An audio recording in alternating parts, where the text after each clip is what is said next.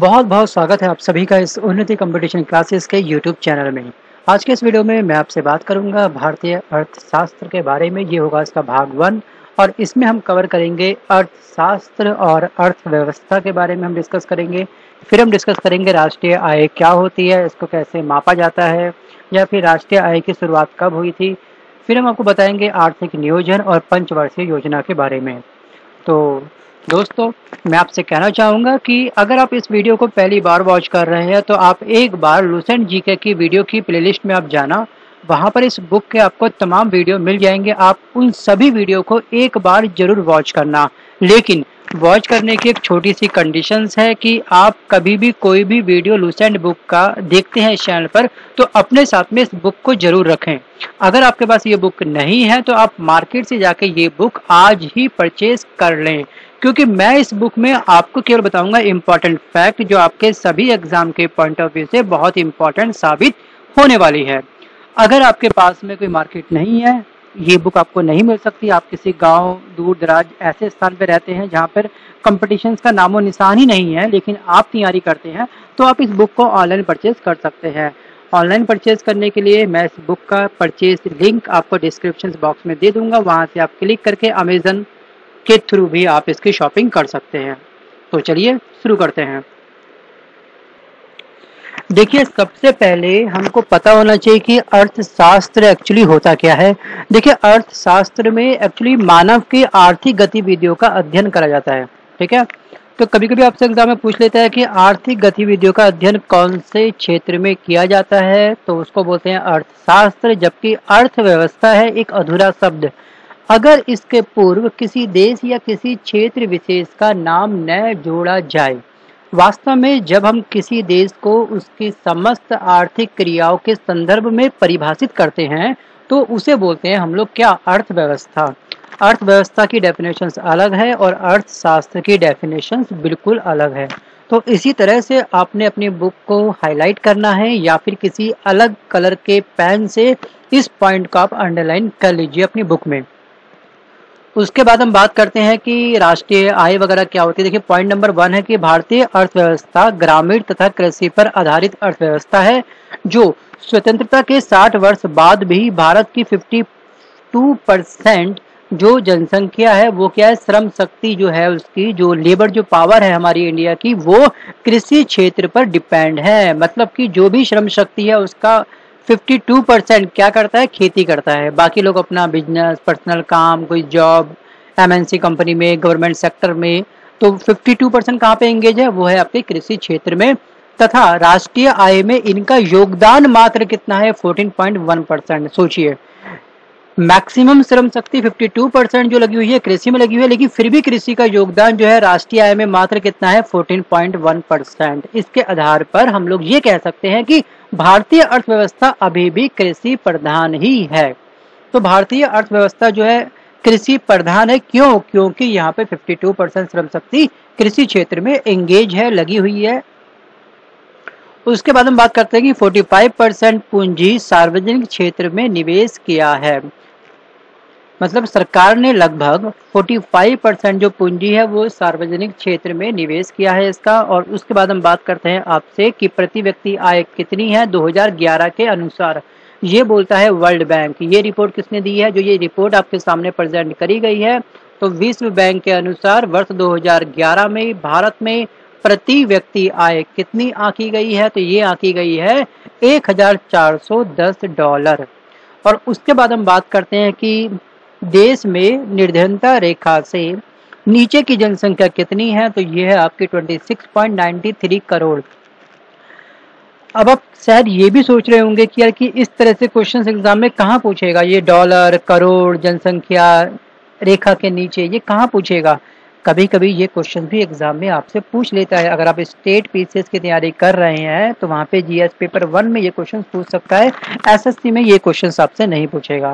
लेकिन एसएससी में आपसे ये क्वेश्चन पूछ सकता है कि 2011 में भारत प्रति व्यक्ति आय कितनी आकी गई थी वर्ल्ड बैंक के द्वारा, विश्व बैंक के द्वारा? तो आपको ये अमाउंट एक हज़ार चार सौ दस डॉलर आपको याद रखना है, ठीक है?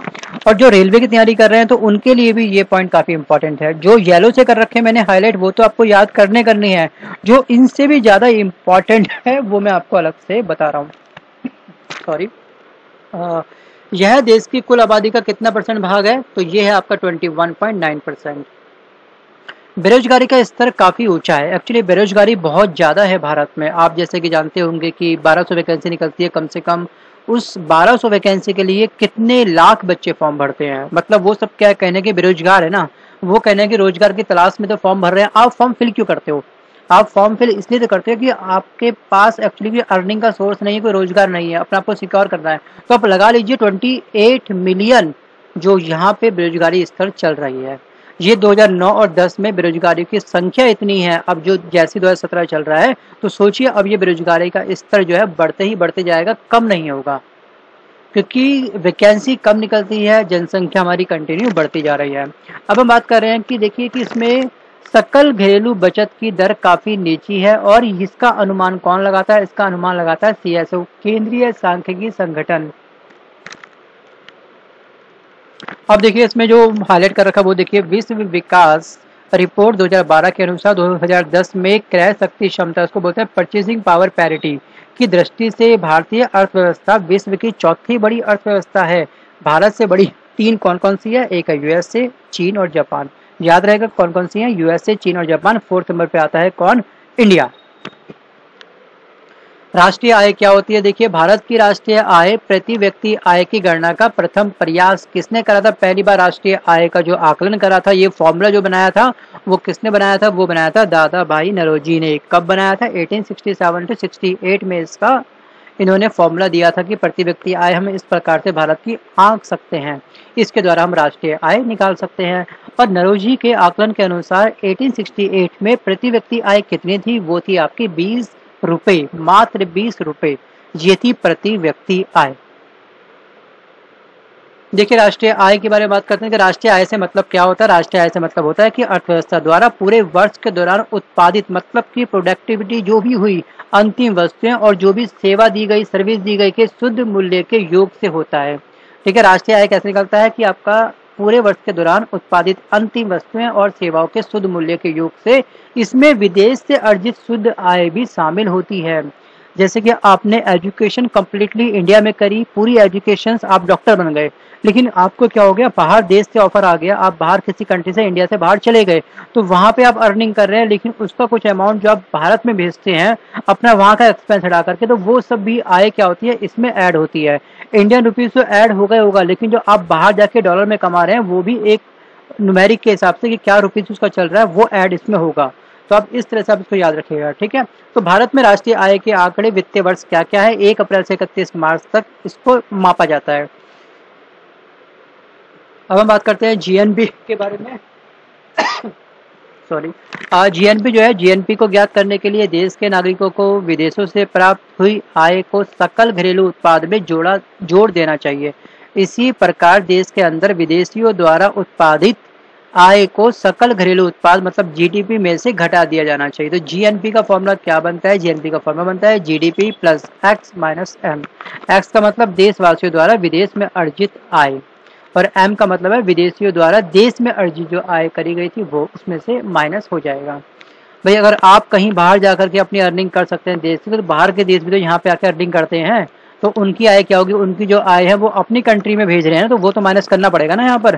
तो इसलिए यहाँ पे हमने ये चीज़ कराया अब होता है एनएनपी एनएनपी मतलब होता है कि शुद्ध राष्ट्रीय उत्पाद ज्ञात करने के लिए जीएनपी में से पूंजी स्टॉक की खपत मतलब मूल्य हास को घटाना पड़ता है। डेप्रिसिएशन जो भी लगता है वो माइनस होता है, जिसमें से जीएनपी में से एनएनपी का फॉर्मूला क्या बन गया? जीएनपी माइनस डेप्रिसिएशन मतलब मूल्य हास अब हम बात करते हैं राष्ट्रीय आय। राष्ट्रीय आय बराबर होती है एनएनपी मतलब बाज़ार कीमत पर एनएनपी माइनस अप्रत्यक्ष कर प्लस सब्सिडी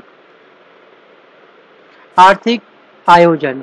देखिए, आर्थिक आयोजन वह प्रक्रिया होती है जिसके अंतर्गत पूर्व निर्धारित उद्देश्यों की पूर्ति हेतु सीमित प्राकृतिक संसाधनों का कुशलतम उपयोग किया जाता है। तो इसके कौन कौन से उद्देश्य होते हैं भारत में? तो इसका पहला है आपका आर्थिक समृद्धि आर्थिक व सामाजिक असमानताओं को दूर करना, गरीबी का निवारण करना तथा रोज़गार के अवसरों को बढ़ावा देना। 1947 में क्या हुआ था कि पंडित नेहरू की अध्यक्षता में आर्थिक नियोजन समिति गठित की गई थी। तो यहाँ से एक क्वेश्चन आपसे ये पूछता है कि आर्थिक नियोजन समिति का गठन किसने करा था? तो वो करा था आपका पंडित जवाहरलाल नेहरू ने। कब करा था? 1947 में। इसके बाद हम बात करते हैं कि भारत में अब तक 10 पंचवर्षीय योजना लागू की जा चुकी हैं। एक अप्रैल 2007 से लेकर के ग्यारहवीं पंचवर्षीय योजना प्रारंभ की गई थी। आप सिंपल कभी कभी आप ये याद रखना कि 2007 में कौन सी पंचवर्षीय योजना लागू हुई थी? ये हुई थी ग्यारहवीं।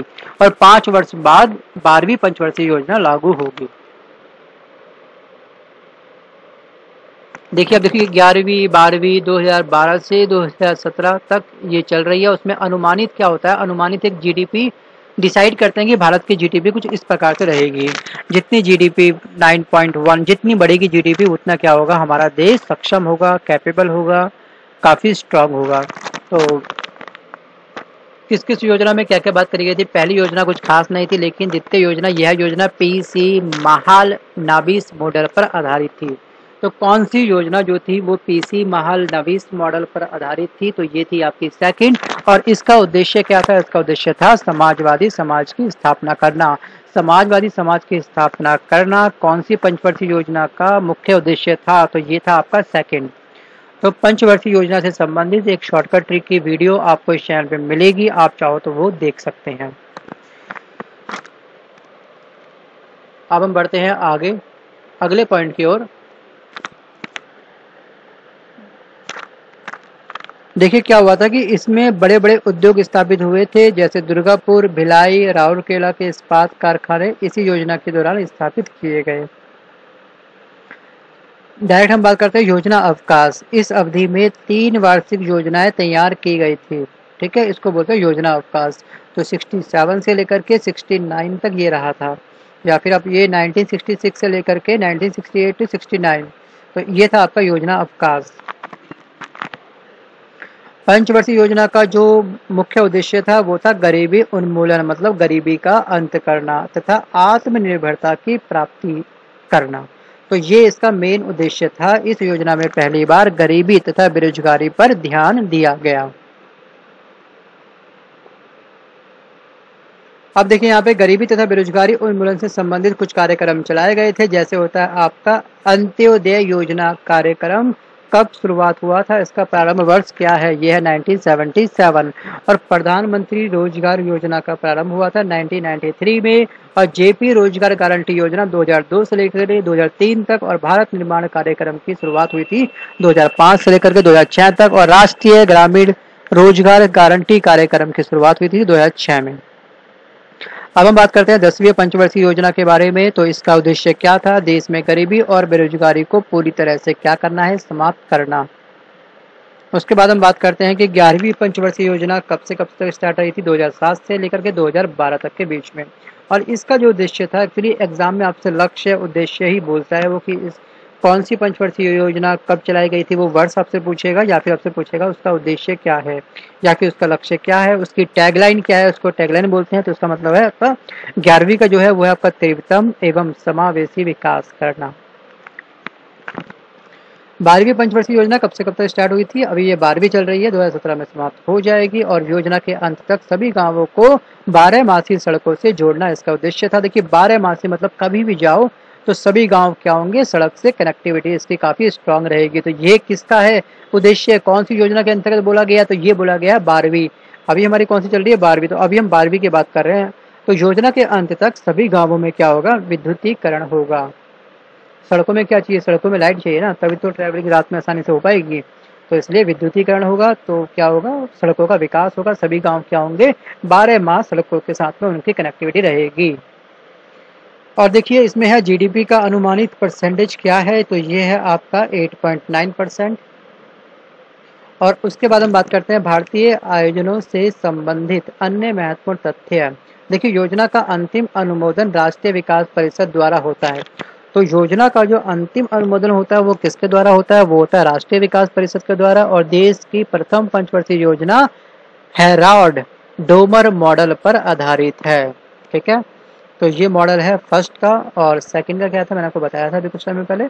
तो अब हम बात करते हैं सुरेश तेंदुलकर समिति द्वारा सुझाए गए फॉर्मूले के तहत निर्धनता रेखा का निर्माण प्रति व्यक्ति उपभोग व्यय के आधार पर किया जाता है। किस पे? प्रति व्यक्ति उपभोग व्यय के आधार पर क्या होता है? निर्धनता रेखा का निर्धारण करा जाता है। अब हम बात करते हैं कि वर्ष 2011 और 12 में केंद्र शासित क्षेत्रों में निर्धनता रेखा के नीचे सर्वाधिक 39.91 परसेंट जनसंख्या दादर एवं नागर हवेली में है। और दूसरे स्थान पर क्या है? चंडीगढ़ क्षेत्र में है। कितना परसेंट? 21.81 परसेंट। जनसंख्या की गरीबी की बात करी जाए तो रेखा से नीचे है ये। वर्ष 2011 और 12 में सबसे कम जो निर्धनता है, अनुपात वाले पाँच राज्य कौन से हैं? बढ़ते क्रम में देखिए, गोवा में गरीबी थोड़ी कम है, उसके बाद में केरल में थोड़ी उससे ज़्यादा है, हिमाचल प्रदेश में उससे ज़्यादा है। सिक्किम में है आपका 8.19 पंजाब में आपका 8.26 निर्धनता अनुपात के ताज़ा आकलन के लिए सुरेश तेंदुलकर समिति द्वारा सुझाए गए फॉर्मूले का प्रयोग योजना आयोग द्वारा किया गया है। तो दोस्तों, आज के इस वीडियो में बस केवल इतना ही। अगर आपने हमारे चैनल को सब्सक्राइब नहीं करा है तो सबसे पहले प्ले लिस्ट में जाइए, चैनल को चैनल की प्लेलिस्ट को आप चेक करिए, उसके बाद आप डिसाइड करिए कि आपको सब्सक्राइब करना है या फिर नहीं करना है। अगर आप सबको, अगर आप सब्सक्राइब करते हैं तो उसके बाजू में, उसके बगल में, उसकी साइड में आपको दिखाई देगा एक बेल आइकन। जी हाँ मैं बात कर रहा हूँ इस बेल आइकन की। आपको दिखाई देगा ये बेल आइकन और इस बेल आइकन पे क्लिक करना ना भूलें।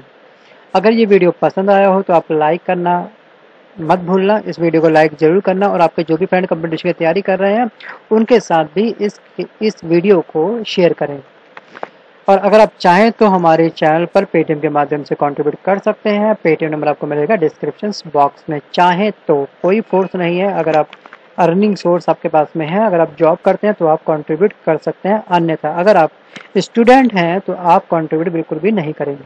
राइट तो इसी के साथ मैं लेता हूँ आपसे अलविदा। मिलता हूँ जल्द एक नए वीडियो के साथ में। Bye bye take care and all the best धन्यवाद।